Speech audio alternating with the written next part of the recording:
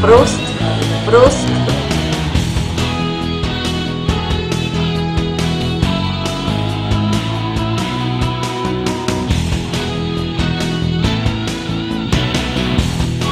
Prost.